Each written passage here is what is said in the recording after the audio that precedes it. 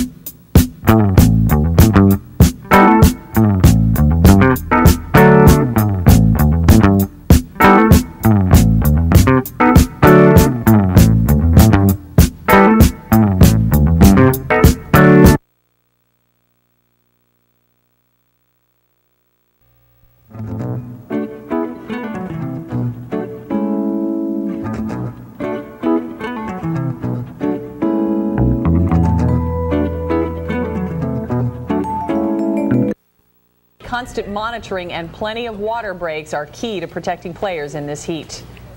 We have to be real careful. We give them water breaks about every 10 minutes and um, and just tell them, hey, if you feel flush, you let us know. Don't be a hero. Everyone can't wait to get showers. I mean, hard day of work, so it's ready for a shower. A lot of teams are just getting out there at 6 in the morning. Instead, Kings High decided not to have practice between 11:30 and 7, which is the hottest time of the day. Ohio Governor for the next couple of days. Some take a look at the radar picture. I talked about the rain. I don't see any until the weekend. A lot of, not exactly good timing, too. A lot of big football games uh, coming up.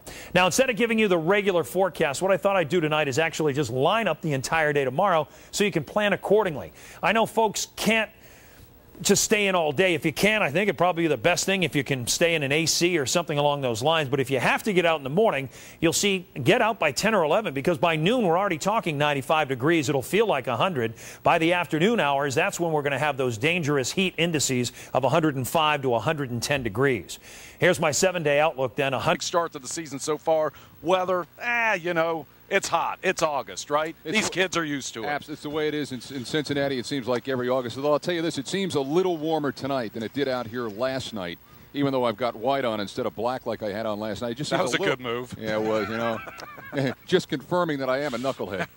But in the Miami Valley Conference, North College Hills coming off a league title and a playoff appearance. Cincinnati Hills Christian Academy is gearing up for a return to the playoffs. The Eagles made it to the Division V state championship game in 2005. The Cincinnati Hills League will be hotly contested again.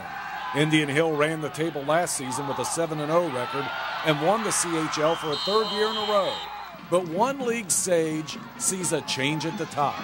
Deer Park, I, I would pick as number one. I think uh, uh, Barry Pettijohn and his staff have uh, done a great job, and they've got a great group of seniors. Um, Indian Hill second, Wyoming third, Mariemont fourth. Well, and Coming up on Ohio's only 9 o'clock news, high school football season gets off to a sweltering start. Plus, what a week for weather in Ohio. The heat, flooding, and tornado warnings all in the span of five days.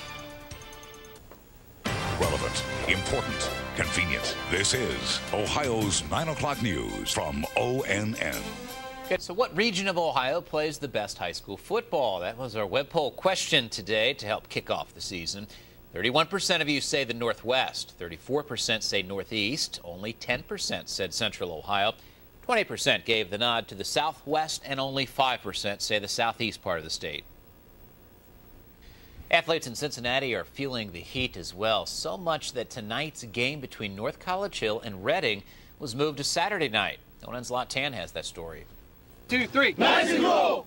North College Hill school officials decided to postpone Friday night's game between the Reading Blue Devils and North College Hill Trojans until Saturday, hoping for cooler temperatures, something coach Bruce Berenzi has never seen happen in his 20 plus years of coaching.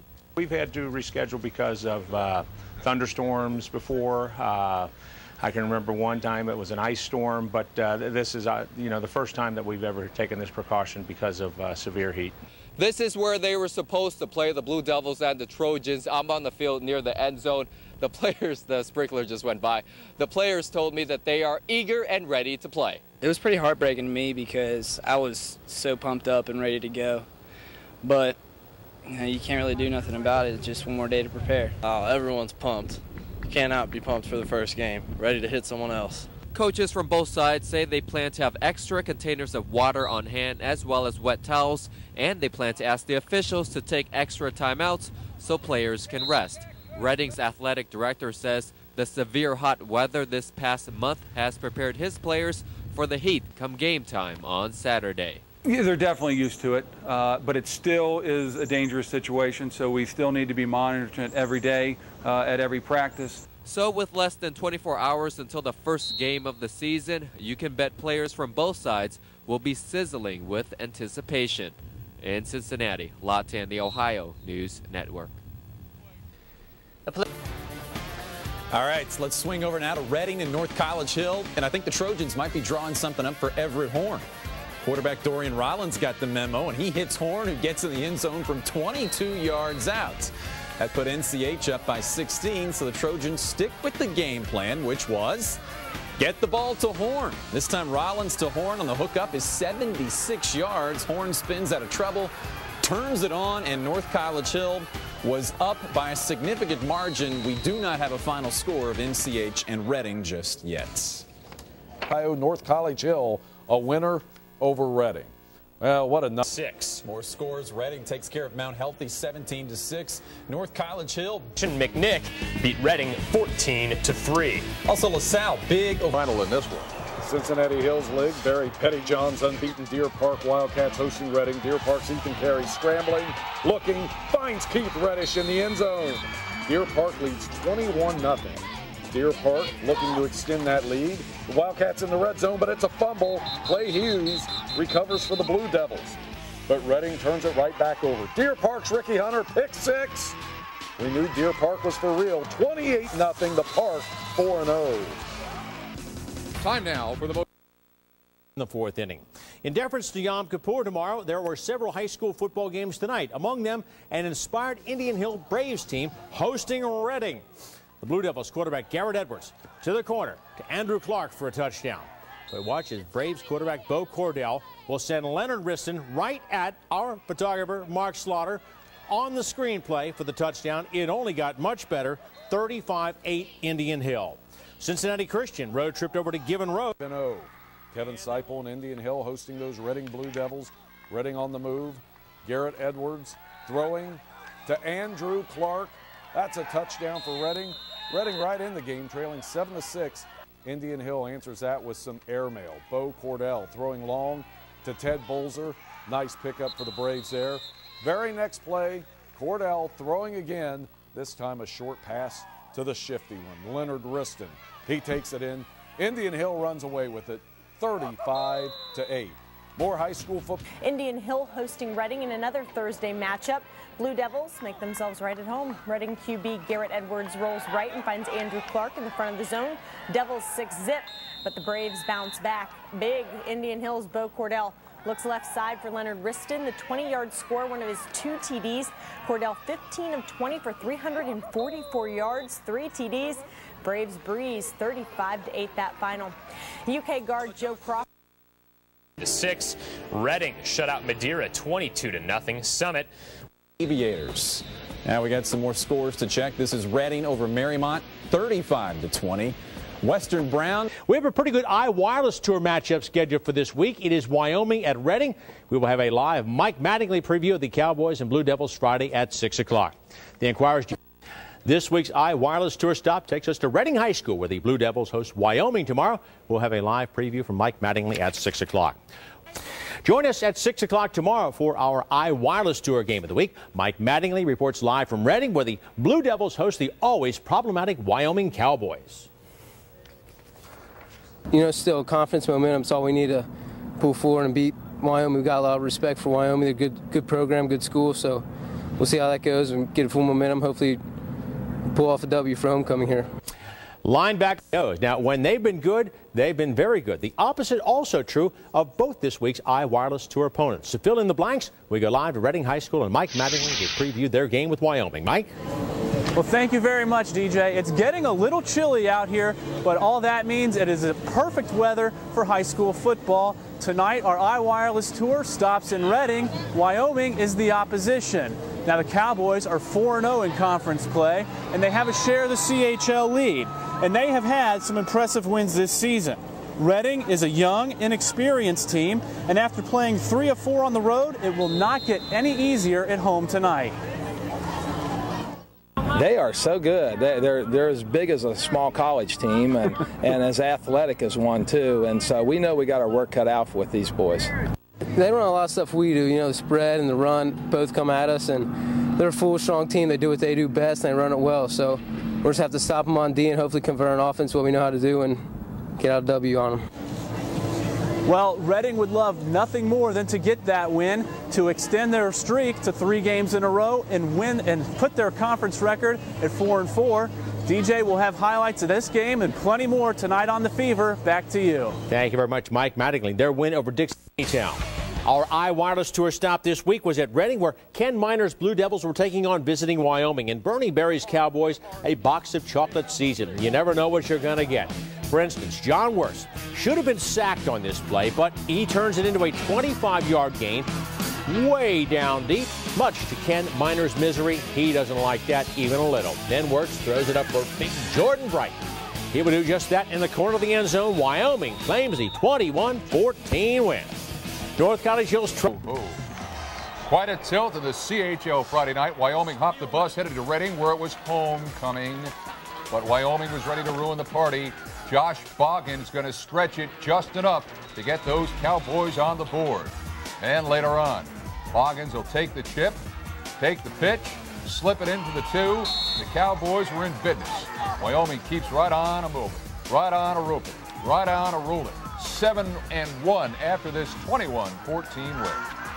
Big battle in the Commonwealth. Reading winners of two straight, the fans expect the Cowboys to lasso up a victory in this rivalry decided by just seven points last year. It's 7-0 lead for Wyoming in the second and looking for more. John Wirtz to Jacob Green and plenty of green ahead, 40 yards and into the red zone. That big play leads to this one. Pitched right to Josh Bogan, and it's a 14 0 lead. The defense solid. Garrett Edwards brought down by Isaiah Nearer. 21-14 Wyoming a winner. Another seven-point game. The FA For the National City Bank Beast, here comes Wyoming's Deshaun Harris sniffing out the screen and whammy! Hmm. Leveling the receiver. Deshaun Harris, you are this week's National City Bank Beast. Next up on Four to seven. Another shutout, Reading over Taylor, 42 to nothing. In fact, another. Now, from the Tri States local sports leader, this is Friday Sports Fever. Hello again, everyone, and welcome to Friday Sports Fever. It is a pivotal weekend for teams and people as they fight, literally and figuratively, to regain an Ultimate Fighting Championship or, say, to stay in the high school football playoff picture. And also tonight, we saw a young man's gratitude at halftime of Reading's game with Taylor, a special tribute to former Blue Devil running back DeShawn Wynn, who's made all the right moves since a national championship at Florida and emerging as one of the NFL's brightest rookie running backs at Green Bay. Just feels good to be back in the community and um, the support I got back here at home. You know, everybody been following me since I've been to Florida and obviously in Green Bay. It just feels good to come back and um, glad to get this award. DeShawn, according to some, was somewhat rudderless until Reading coach Ken Miner, part of tonight's tribute, challenged him to strive for excellence. The Packers' seventh round pick enjoying the bye weekend off clearly responded, and for him, the sky is literally the limit. As if that didn't provide enough sizzle to the evening's proceedings, here's the kickoff after Reading had taken a 7 0 lead in the first quarter. Taylor's Chris Hines can't field it, and Jake Joyce recovers for Reading. They cashed in with the turnover. And a pitch out to Rashad Kite. The freshman's TD made it 14 0, 42 0, proved to be tonight's final. Deer Park fans. Taylor at Reading, where it was seen. All right. And DeShawn Wynn back in. Yes. Well, got a bye week with the Packers. First quarter. Reading on the move. Michael Welling, and it's 7 0 Reading Blue Devils. The ensuing kickoff is not going to be a good one for Taylor. Taylor is going to fumble that bad boy, and the loaf is loose. Jake Joyce recovers. That sets up another touchdown for the Blue Devils. Then, yet another one for Reading. Rashad Kite, 37 yards. Reading with the shutout, 42 0 the final. Well, Kitty, our for the National City Bank Beast. Taylor fakes the punt. Reading's Corey Woodward breaks it up with that. Corey and the Reading Blue Devils present us with the Oh. National oh. City Bank Beast.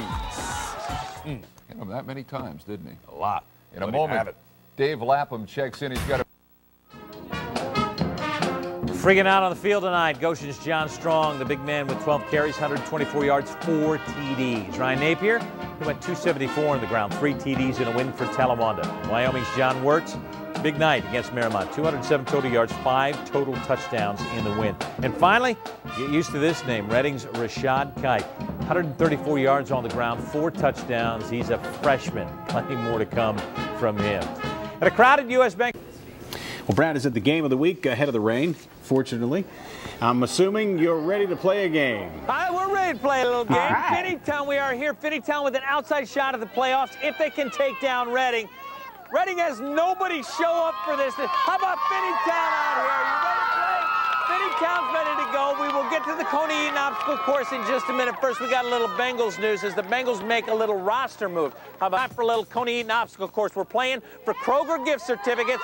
Finneytown, the senior high here, the junior high boys here. Are you ready? Line up. Ready, set, go. Got to throw and make it through the hole. Oh, and it's the junior hires going first. Then they're going to have to make the conies. Got to put the dog in the bun, the chili on, then the cheese. Oh, he's going casual. Better hurry, big fella. Better hurry, big fella. The cheese is now on. Still waiting for the senior high football player to get it done. And now we got a little eating going on. Oh, you can take all the time you want. Oh, this is going to get nasty. This is ugly. Still waiting on you. You still got time. The way he's eating, you better make one. This may be the longest eating situation ever. Just get it in your mouth. Get it in your mouth. Get it in your mouth. Get it in your mouth. Put it in your mouth. You may lose.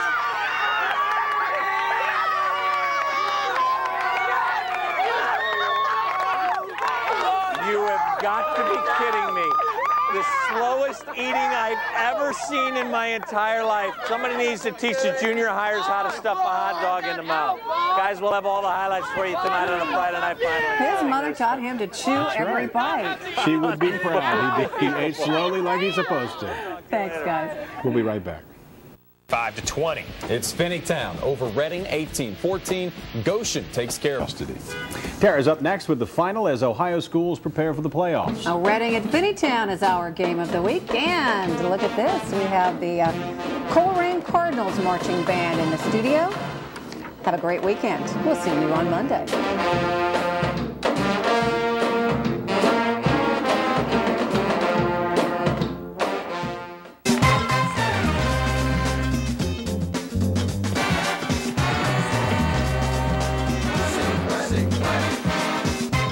This is the Friday Night Final, brought to you by Tom Gill Chevrolet. Welcome to the Friday Night Final, everyone. I'm Tara Packmeyer, the Colerain Band, providing those fine tunes. We're providing the best high school football coverage possible. Beginning this evening with our Skyline Game of the Week, and it's do or die for Finneytown, a must win to have any shot at an invite for the postseason party. In the Wildcats' way, CHL rival Reading, the Devils, come in having won three of four. We asked who you thought would win our Friday night final overtime website, and you expect the visiting team to prevail 58%. Let's see if you're right. Finneytown quarterback Jimmy Sammons has passed for more than 2,000 yards this season. Add an interception. Corey Woodward with the pick. Next play, Reading capitalizes. Those sneaky little devils. Garrett Edwards play fake, launches the long ball to his right. Andrew Clark grabs the 30-yard touchdown pass, 7-0 Reading. Third quarter, Blue Devils up 7-6, extend their lead. Edwards under pressure passes right side. Good thing Michael Welling is waiting for him in the end zone. 14-6 Reading. 342 left in the game, down 14 to 12. Salmons with the screen to Matt Reinert. The running back goes outside, cuts back to his left, and ends his 35-yard trip with a dive. 18-14. Reading, though, has two shots at the end zone in the final minute. Edwards looks long for Welling, but he can't get a handle on the slick ball in the rain. So we go to the fourth down effort with 15 seconds left. Edwards is picked off by Wildcats defender Patrick Dawson. Finneytown scratches out a win, 18 to 14.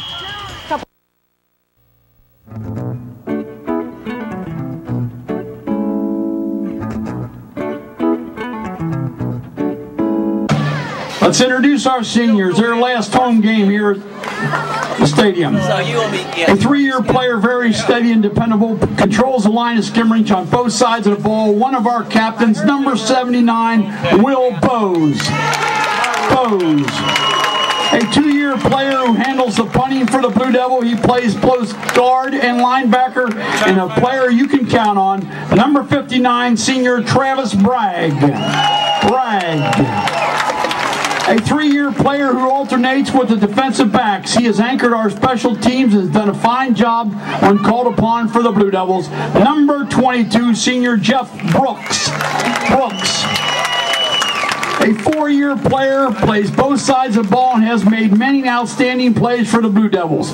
Many of his teammates call him Chicken Bones. I call him number 18, senior Andrew Clark. A two-year player handling the place kicking. A powerful kicker who's come through for the Blue Devils on many occasions. I always say this guy could kick a bad habit. Number 14, senior Teddy Greshel. A four-year player hurt by injuries throughout his Blue Devil career. He suffered a badly broken leg last season. A fine young man, a real team player. Call him Hard Luck Hardigan. Number two, senior Nick Hardigan. A four-year player starting for two years. Also a good linebacker now. Double that as a fine tight end. A tough and aggressive player. Number 44, senior Tyler Hitz. A four-year player has come on to help the Blue Devils in a part-time role doing mostly special team play. He is extremely well liked by his teammates. Number four, senior Mike Jones.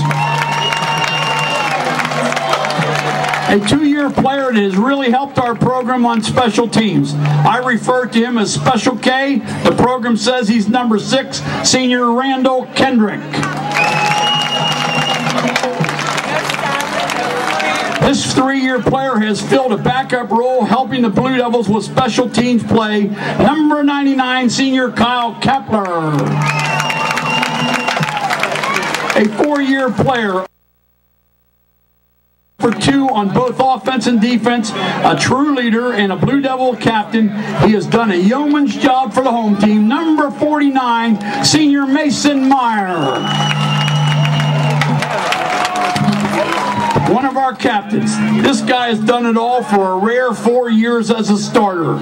He is a workhorse, a true warrior on both offense and defense, a top flight player, number one in your heart, number 32 in your program, senior Michael Welling.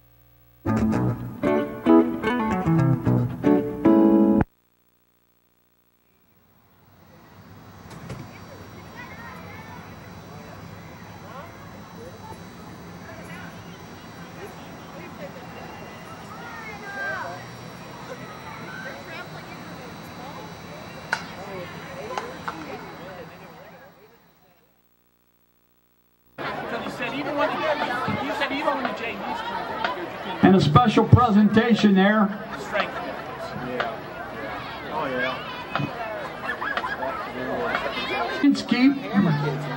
And Coach Ken Miner have a special presentation tonight to give to a former Blue Devil great.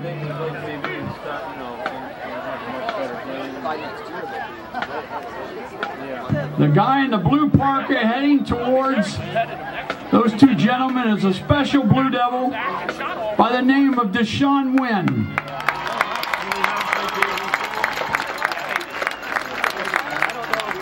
DeShawn played here about six years ago and one is one of the greatest players in Blue Devil football history. He's being awarded a plaque by Superintendent Scott Inskeep and head coach Ken Miner. DeShawn's first game here was against Finneytown, and he gained a mere 460 plus yards in his very first game. It was one of the greatest exhibitions of running you will ever witness in high school football. I think it may still be second in most yardage in the state of Ohio. DeShawn holds the records for many offensive records. I know yards per game, yards per season, yards per career, touchdowns per game, touchdowns per season, touchdowns career, and several other offensive records. He went on to the University of Florida, where he said he wanted to play for a national championship. And that he did in his senior year when his team won the national championship. DeShawn is now a member of the Green Bay Packers.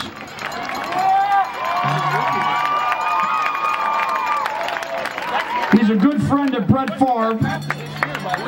And last Sunday, I absolutely saw him do the Lambeau leap into the crowd. I cannot say enough about this young man. Andy Stroline and I drove him to Alabama along with Charlie Vample and Adam Caldwell for a recruiting trip. And we had an absolute great time. They drank more Mountain Dew than God should allow.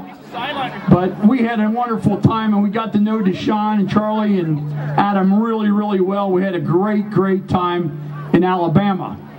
And uh, he went on then to say he wanted to play for national championship. That's why he chose Florida. And by gosh, his dreams came true, and he's a national champion. And he'll always be remembered by the Blue Devils. No question about it. DeShawn Wynn.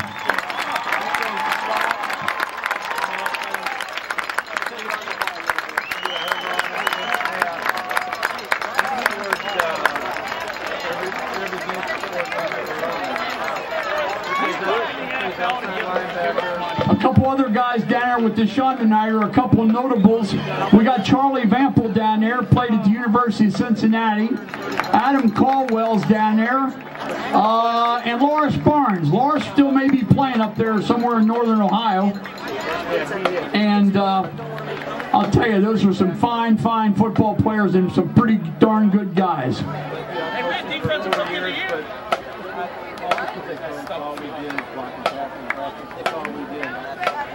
We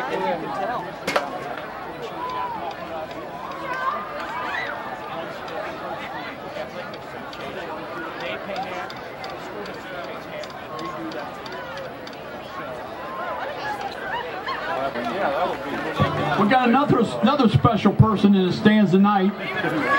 Former former Blue Devil great, sitting down here in front a little bit. Eddie Miner. Eddie Miner's back from Florida tonight. And Eddie's on his way to Wilmington where he will be inducted into the Wilmington College Hall of Fame tomorrow night. Eddie Meyer. Eddie played here in 78. Uh, he was a safety on Wilmington's uh, 1980 NAIA National Runner-Up Football Team. Um, he did. Uh, he was an All-American selection in '81 after setting team career record of 11 interceptions. Eddie Miner down here in front, one of the great Blue Devils, also.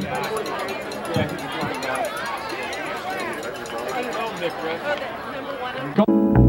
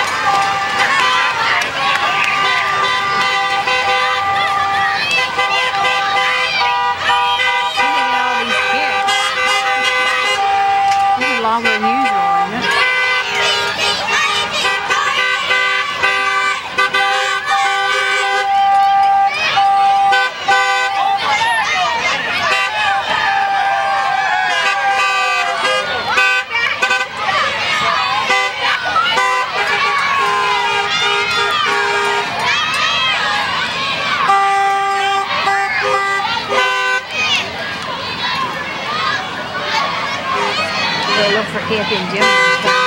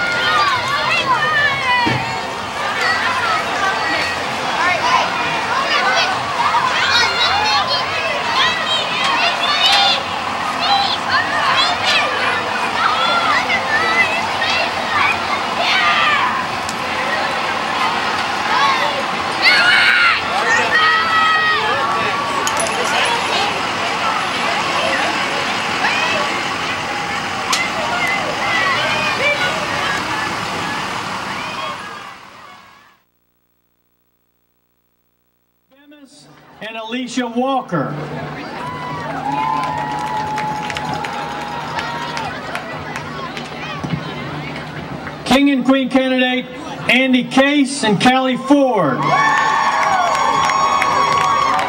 King and Queen candidates Dustin Hink Hinken and Emily Venable. King candidate Jerry Minnick escorting Candace Spielman. King and Queen candidate Derek Smith and Christina Patterson. Queen candidate Crystal Ambergy escorted by Willie Foster. Queen candidate Christina Kidd escorted by Chris Evans. Queen candidate Lauren Cup escorted by Shane Griffin.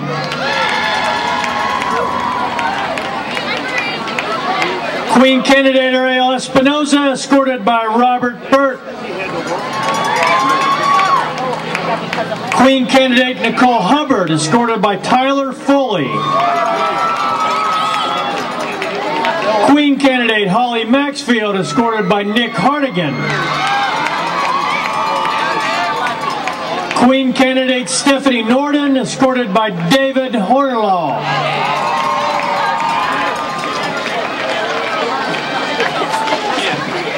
King candidates who are members of the football team in the locker room, Mike Jones, Mason Meyer, Mike Welling, Andrew Clark, and Teddy Greshel. We would now like to welcome back to Reading Junior Senior High School the 2006 Homecoming King and Queen, Tony Dusa and Ashley Hughes.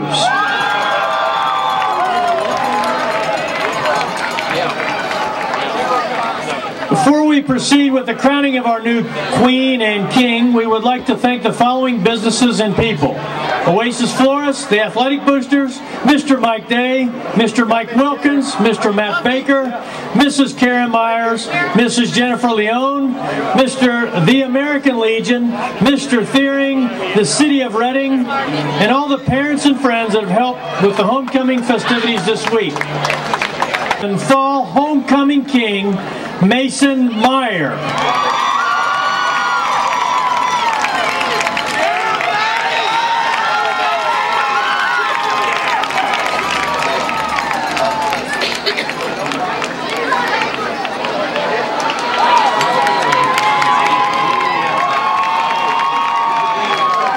And now the three three finalists for the homecoming queen, please step forward. Crystal Ambergy, Lauren Cupp, and Holly Maxfield.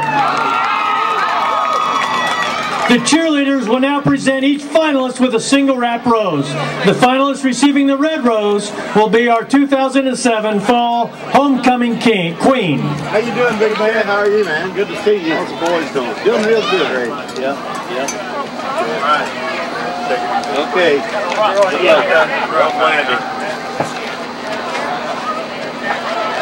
Tom Selleck out today.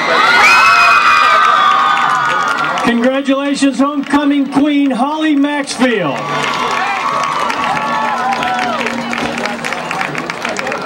Please give an enthusiastic round of applause for all the young men and women participating in Homecoming 2007. Thank you.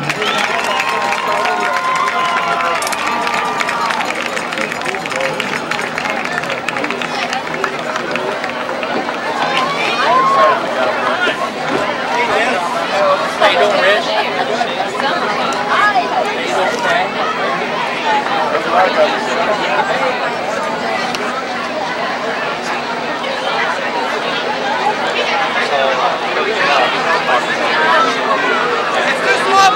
told me you got beat handball the other day.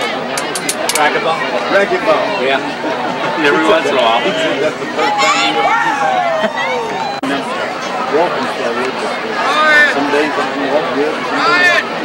I got get my chair. Were you up at uh, Walmart? No, I, I videoed the last two, but I only missed two games.